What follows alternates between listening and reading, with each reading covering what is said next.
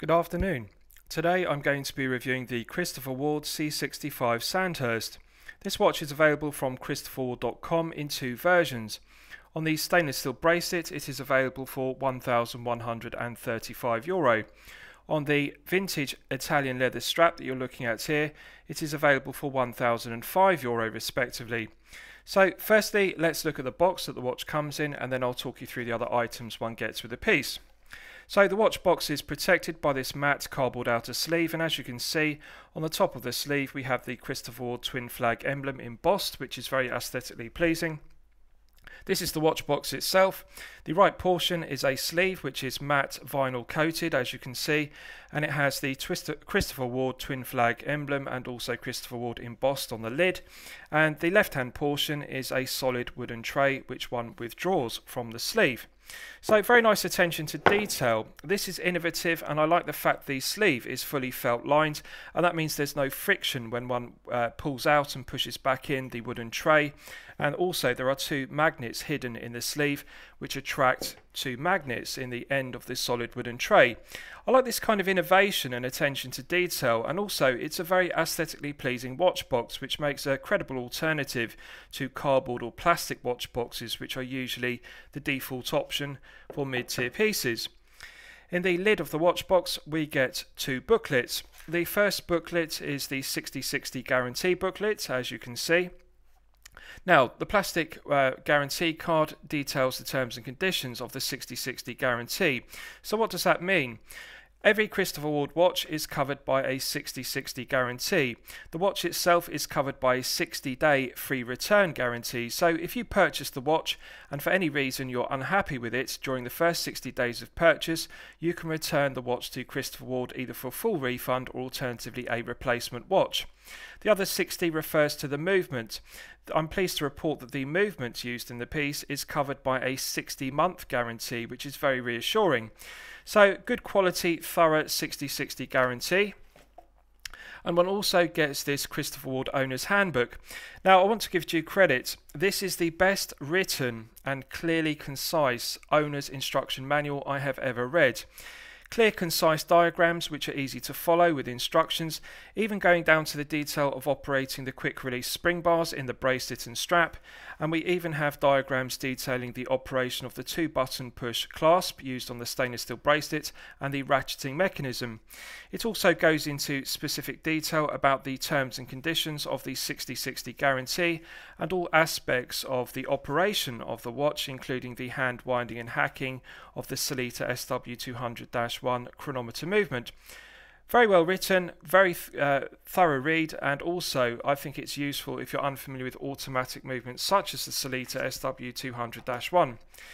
Now, inside the lid, we have this cardboard section which one removes. And the watch itself, if it's on the bracelet, it sits on this piece of metal which is vinyl coated to protect the bracelet for any scuffs and scratches in transit. If it's on the calf leather strap, it is secured by these two elasticated straps. So very well thought through, very well crafted, nice attention to detail, and I really like it. I think this is an aesthetically pleasing watch box, which really does give the feeling of a quality product. So one also gets this plastic tag with 6060 on it and Christopher Ward embossed. And lastly, one also gets one of my favourite aspects of the watch, the COSC chronometer certificate. Now, bearing in mind that this is only 1,005 euro on the leather strap, it really is unheard of to get a mid tier piece with COSC chronometer certification. And not only that, they have also included the actual certificate from COSC themselves. So as you can see, the movement is fully tested in different positions, and COSC tests the chronometer limits to be within minus 4 to plus 6 seconds per day. As you can see, they fully test the movement in all different positions. And then we have five positions of regulation with a printout of the actual accuracy readings in those five regulated positions. So very thorough, very good testing of the movement. And I'm pleased to report that as you can see, this chronometer grade movement from Sellita is regulated to plus 3.09 seconds per day consistently. So plus 3.09 seconds is well within the COSC chronometer limits of minus 4 to plus 6. So very impressive and very reassuring to get the actual COSC certificate with the piece. Now, with regards to the specification of this C65, first I want to explain the background to this piece. The C65 Sandhurst is a tribute to a military issued piece from 1969, which was the Smiths W10. So, the British Ministry of Defence issued the Smiths W10 to British Army soldiers in 1969, and the W10 had this classic field watch dial layout. Now, Christopher Ward deserves due credit for replicating that to a very high standard. This follows the exact dial layout of the Smiths W10 from 1969 and on the reverse, it also has the British Army crest, and as you can see, it says British Army W10 embossed with also the Army crest. So, just to clarify, Christopher Ward have gained licensing from the British Army to use their crest on their watches and also the British Army W10 embossing. Beautifully executed, screw down case back, and it really is a faithful heritage reissue in effect of the Smiths W10 dial layout. With regards to specification of the C65, it has a 38mm case diameter, a 45.3mm lug to lug measurement, and an 11.6mm thickness, including the domed box crystal. So sapphire crystal AR coating on the underside and I absolutely love the aesthetic of that domed box crystal. Really does give it a vintage aesthetic of plexiglass or alternatively acrylic which was popular in the 1960s. So the advantage of sapphire crystal over plexiglass or acrylic or hesalite is that it is more scratch resistant and also it has AR coating on the underside which improves the legibility of that classic W10 dial layout with the large Arabic numerals and also chaptering indexing. So with regards to the rest of the specification, 20mm lug width, which is very versatile for strap changes. With regards to the heft, on the leather strap, it only weighs 70 grams, incredibly lightweight piece which lacks heft. On the solid stainless steel bracelet, it weighs 150 grams, so significant difference. I would say to you, if you're a collector with a smaller wrist of 6 to 7 inches, I would advise you to opt for this vintage Italian leather strap. At only 70 grams, it really does feel weightless on the wrist. If you're a collector with a larger wrist of 7 to 8 inches respectively, I would advise you to opt for the solid stainless steel bracelet. Now, as you may know from my previous review of the C65 Dartmouth, which uses the same solid stainless steel bracelet, I'm pleased to report it is absolutely 10 out of 10 quality. I like the two button push clasp used on the bracelet and also the ratcheting mechanism, which I actually consider to be better than the Rolex Glidelock system. As you can see, the buckle and tang is signed with Christopher Ward. Incredible attention to detail, flawless brass satin finish, nice heavy gauge of metal. Two keepers on the leather strap, as you can see, one's fixed, one slides, flawless stitching, and I think it's just a very well made, well crafted Italian leather strap. Brass satin finish to the bezel, which contrasts beautifully with the mirror polishing to the underside of the flanks of the case, which also have a brass satin finish to the top side of the flanks. And with regards to the case polishing, this is the kind of mirror polishing and also brass satin finishing um, that one would expect to see on a high tier piece costing in excess of 5,000 euro. Certainly, one doesn't see this on a mid tier piece costing only 1,005 euro. I think Christopher Ward deserves full credit for producing an excellent quality piece with good quality control, outstanding case polishing, and the build quality is just exceptional.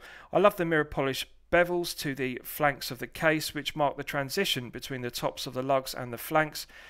Just beautifully done.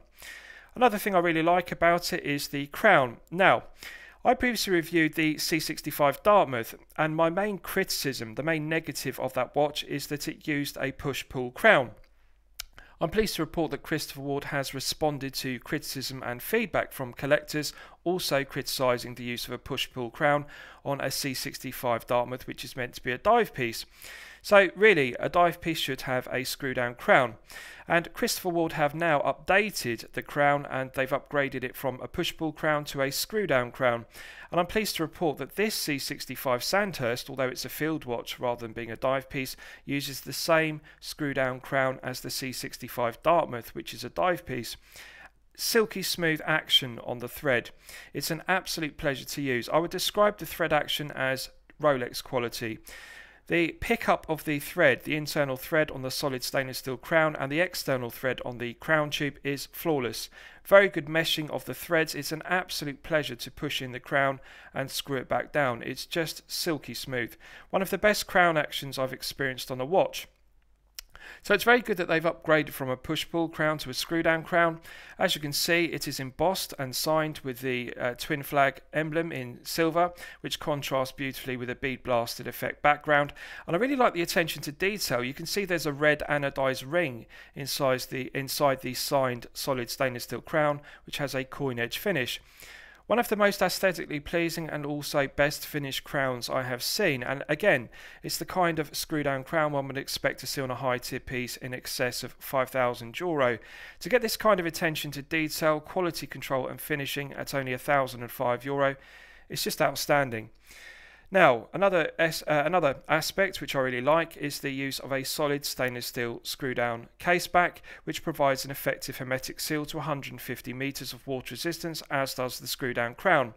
Mirror polished circumference to the uh, screw down case back, and as you can see, the centre section has a bead blasted matte effect with the embossed British Army crest and also the embossed British Army W10, as I've discussed.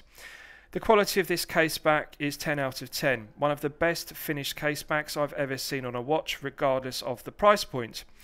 So let's talk about this Italian leather strap. So vintage uh, feel to it.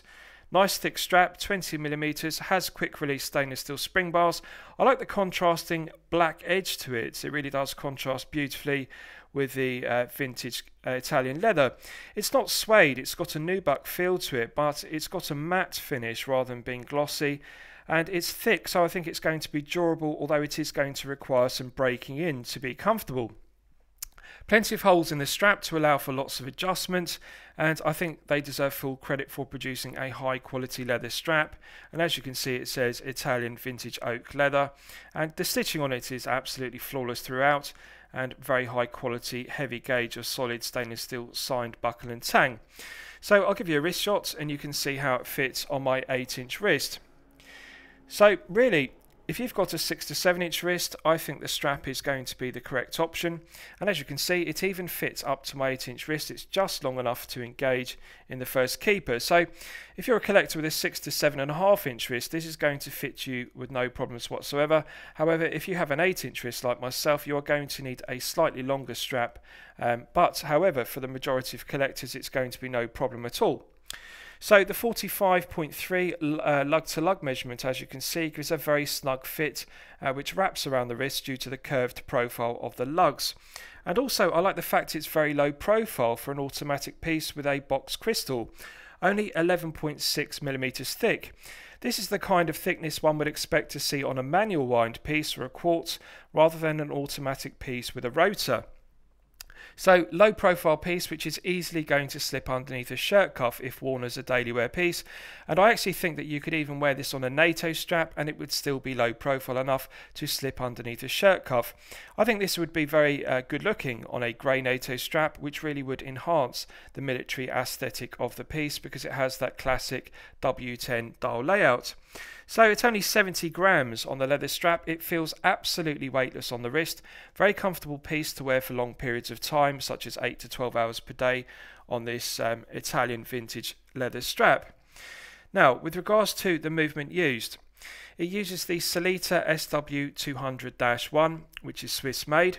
It has 26 jewels and the rotor is finished with Christopher Ward's Colimaçon decoration hand winding and hacking, which are useful complications, 40 hour power reserve. It runs at 28,800 vibrations per hour and a frequency of 4 Hz. Now, you'll know from my previous reviews, I like 4 Hz movements because it gives the second hand a characteristic smooth sweep. With Seiko movements that run at 3 Hz, they have a, a judder or a stuttering to the second hand, but if you look at the red tip second hand, you can see it is sweeping smoothly around the dial due to that 4 Hz frequency. As discussed, this is chronometer grade. The SW200-1 comes in four grades, standard, elaboré grade, top grade and chronometer grade. So top grade and chronometer grade really are the very best, regulated in five positions. And as you can see, this one is regulated to within COSC limits of minus four to plus six seconds per day. What I like about the W10 dial layout is it simply has the triangle at 12 o'clock and Christopher Ward, and then we just have automatic and chronometer at the 6 o'clock position. It's not over branded with text or unnecessary specification, the dial isn't too busy and cluttered, it simply has the large, clearly legible Arabic numerals of a field watch and the chaptering around the circumference of the dial with Swiss made at 6 o'clock. So what we're looking at here is a high quality Swiss made watch with a chronometer grade Sellita SW200-1 Swiss made movement. It really is incredible value at only 1005 euro on the uh, leather strap. So let's do a lume test and we'll see how the lume performs when it's charged up to its absolute maximum. So as usual I'm going to use my 100 UV LED torch to charge it up to its absolute peak. So the lume used on this piece is Old Radium Tone Super Luminova. Right, so that's now fully charged, and as you can see, it has not disappointed. Outstanding performance. This is the best quality Super Luminova I have seen on a field watch. It's got a lovely green tone to the old Radium Super Luminova, which reminds me of C3 Super Luminova. On the baton style hands, you can see that it's glowing brightly and continuing to glow for a good length of time. It's also glowing brightly and continuing to glow for a good length of time on the large Arabic numerals on the dial and also the apply the painted indices. Outstanding, 10 out of 10 quality. This really is equal in quality to the very best of Rolex Chromalight or alternatively Swiss BGW9 or alternatively Seiko LumiBrite, which are the best uh, lume used in the watch industry. I think Christopher Ward deserve full credit for not cutting any corners with regards to the quality of their uh, Super Luminova used on this piece. It's just incredible. So very pleased with that. Um, now, lastly, I'll surmise the piece. What do I think of it overall? Well, when I'm considering reviewing a watch on my channel, the watch should meet two criteria. It should be both excellent quality and excellent value at the respective price point.